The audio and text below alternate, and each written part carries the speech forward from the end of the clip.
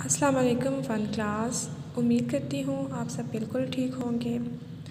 तो चलें जी, अब हम अपने काम की तरफ़ आते हैं।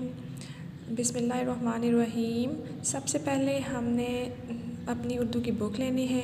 उसमें आपने देखना है कि आपका जो सबक है हमारा घर, आपने वो सबक निकालना है। सफ़ा नंबर फोर्टी वन है। यहाँ पे आ जाएँ जी आप। इस सबक की आपने ख़ुद रीडिंग करनी है। उसके बाद आपने इस एक्सरसाइज पर आ जाना है। इसकी मश्क को हमने हल करना है। ठीक है? आप देखें, यहाँ पे लिखे हुए हैं जवाब लिखें। तो ये आपको सवाल दिए गए हैं। इनके जवाब आपको सॉल्व करके दे दिए गए हैं। आपने ये सारे सवाल को, सवालों के जवाब नीट कॉपी पर खुशहत करके लिखने होंगे। उसके बाद आ जाते हैं जी अल्फाज मायने। मुश्किल अल्फाज हैं, उनके आसान मायने हैं। ये भी आपने यहाँ से देख के अपनी नीट कॉपी पर साफ़ राइटिंग में लिखने होंगे। उसके बाद जुमले आ जाते हैं। ये भी आपको सॉल्व करके दे दिए गए हैं। ये भी आपने अपनी नीट कॉपी पर साफ़ राइटिंग में लिखने हैं। उसके बाद है जी वर्क बुक अब ये सारा काम तो आपने अपनी नीट कॉपी पर लिखना भी है और उसके बाद लिख के याद भी करना है। तो वर्क बुक जो है, ये आपने ये सारी मश्क जो अभी मैं सॉल्व करवाऊँगी आप लोगों को, ये सारी आपने सिर्फ़ अपनी किताब पर ही हल करनी होगी। तो देखें जी, यहाँ पे सबसे पहला सवाल है, हाली जगह पुर करें। तो आपके हाली जगह पुर आपको दिए गए हैं पाँच तो इनको आपने बुक से, रीडिंग से ढूंढ कर लिखना होता है, ठीक है? लेकिन मैं आपको यहाँ पे अभी ये सॉल्व करवा रही हूँ, ये मैं हाली जगह पुर हल करती हूँ और आपने ये देख के अपनी बुक पर भी साफ़ सुथरी राइटिंग में ऐसे ही हल करने हैं। सबसे पहला है हमारे पास अब्बा जान ने ये घर देश पहले बनवाया है। अब्बा जान ने ये घर तीन साल पहले बनवाया है। तो दूसरा है हमारे पास भाईजान देश में पढ़ते हैं। भाईजान कॉलेज में पढ़ते हैं। नंबर थ्री है हमारे पास, हम अपनी चीज़ें डेश रखते हैं। हम अपनी चीज़ें साफ़, सुथरी रखते हैं। उसके आगे है चौथा, भाईजान को डेश लगाने का शौक़ है। भाईजान को पौधे लगाने का शौक़ है।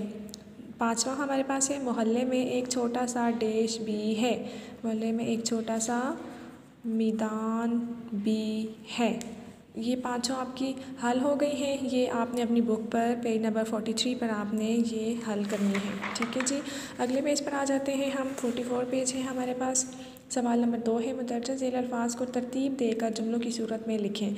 अल्फाज को उन्होंने तीन आपको दिए हुए हैं, तीन लाइनें दी हुई हैं। आपको इन सबको अरेंज करके, तरतीब करके यहाँ पे लिखना होगा। तो ये सारे जो आगे पीछे उन्होंने वर्ड्स दिए हुए हैं, इनको तरतीब से लिखना है। तरतीब मैंने यहाँ पे आपके लिए की हुई है। आप देख के बुक पे ऐसे ही तरतीब से लिख लें।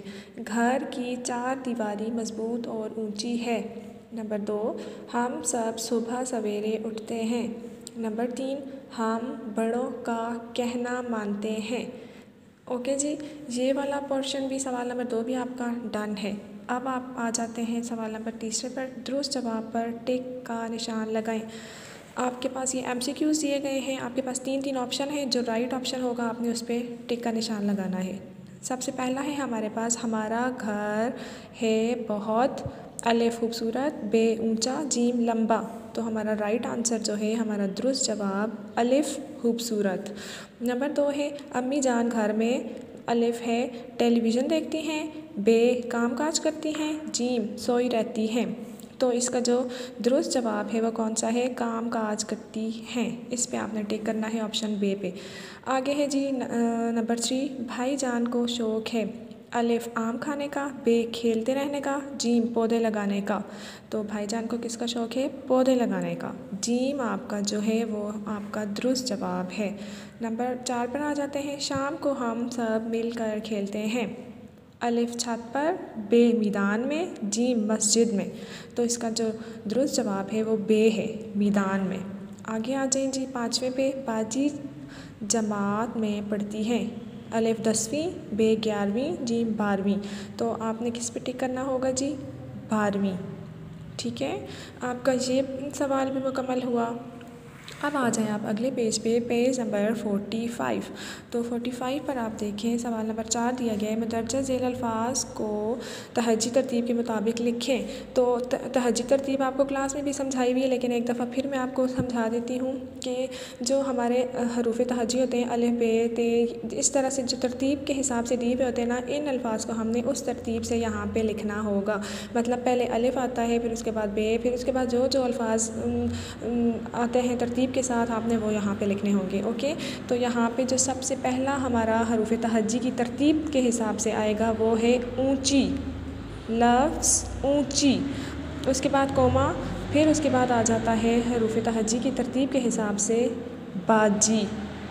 उसके बाद देर।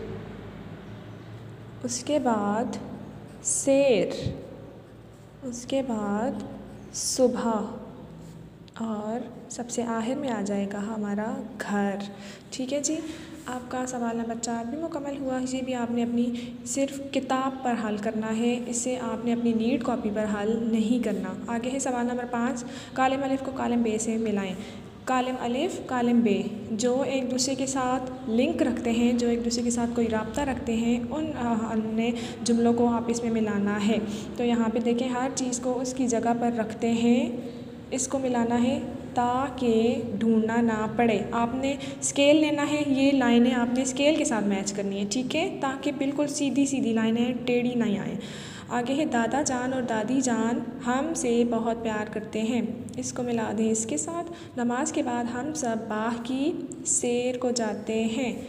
हम सब पौधों और दरख्तों का ख्याल रखते हैं। अब्बा जान ने ये घर तीन साल पहले बनवाया है। ठीक है जी? आपका ये क्वेश्चन भी कंप्लीट हो गया। अब आपने स्केल के साथ ये सारा मैच कर लेना है। ओके आगे कवायद आ जाते हैं एराब। एराब वो होते हैं जो हम जेर, ज़बर, पेश किसी लफ्ज़ पर लगाते हैं ताकि हम उसकी आवाज़ को उसके प्रॉपर तरीके से, उसके प्रॉपर वे में जाके उसको अदा कर सकें। ठीक है? जैसे अब घर है तो गाफ पे ज़बर है तो हम आसानी से इसको अदा कर सकते हैं ना घर। आगे खुला पेश है तो काफ आ रही है, हम पेश की आवाज़ देंगे तो यहाँ पे ये जो है खुला पड़ेंगे, ठीक है? इसी तरह ये सारे अल्फाज भी आपके पास ऐसे ही हैं, आपने ये एक दफ़ा पढ़ लेना है ताकि आपको सही तरह से समझ आ जाए, ठीक है जी? उसके बाद फिर ढूंढ के लिखें कि एक लफ्ज़ ज़बर वाला, फिर ज़ेर वाला, फिर पेश वाला, फिर इस तरह, तीन तीन तीन ज़बर वाले, तीन ज़ेर वाले और तीन पेश वाले अल्फाज लिखने हैं। अपनी रीडिंग से ढूंढ कर ही।